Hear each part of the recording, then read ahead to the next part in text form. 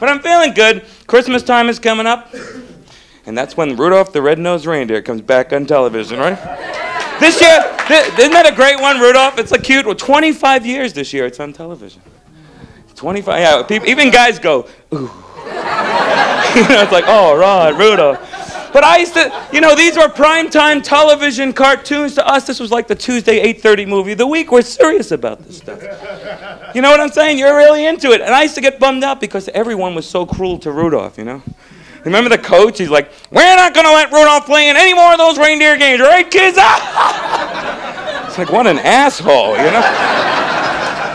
And his parents, his own parents, take a black piece of clay from the ground, stick it on his nose so it sounds like he has a cold. And he's flying around going, She thinks I'm cute! She thinks I'm cute! Hey, Rudolph, get a mirror. You look like a dork, all right, pal? Then he finally meets Clarice, the beautiful doe, who has the highest singing voice of any cartoon character. Remember her song? It's like, There's always tomorrow. like, like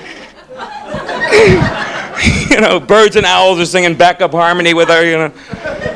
And then, then they introduce her Hermie, wants to become a dentist. What a wimp. Remember this character? Why am I such a misfit? I am a screaming dipshit, you know?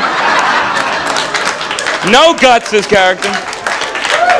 And his boss cuts him down in front of all the other elves like, Hermie wants to be a dentist! Ah, ha, ha, ha. It's like, calm down, Pops. You're 40 years old. You're still making toys, so shut up, fat man. I shook my head that way, too, at home.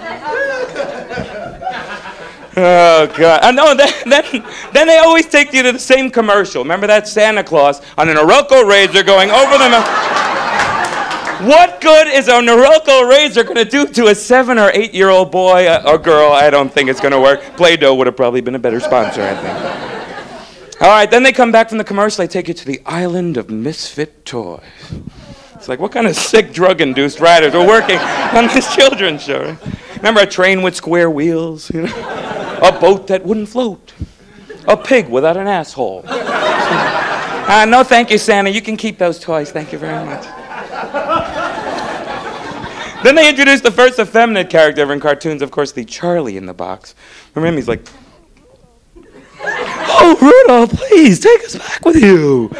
We don't want to be on the island of misfit toys. No, we want to be in a little boy's toy room. Yeah, right, Charlie. You wanted to go jack off in the box, pal. Get the hell out of here.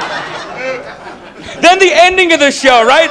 Rudolph comes in to save the day with his blinking nose. Santa Claus deserves an Academy Award for this scene. You remember this part here? All of a sudden, it's like, bum, bum. It's like, Rudolph, shut up that goddamn nose, that wonderful, beautiful nose. And they all start, dun, dun, dun, dun. If I was Rudolph, I'd say, screw you, Santa. You guys have been dogging me this whole half hour. You want me to lead the sleigh? I want 10,000 up front. I want the coach fired. Then I lead the goddamn sleigh. What do you think about that? Thank you. My name's Eddie Brill. You guys have been fun. Have a good night. Thank you. Eddie Brill, ladies and gentlemen. Eddie Brill.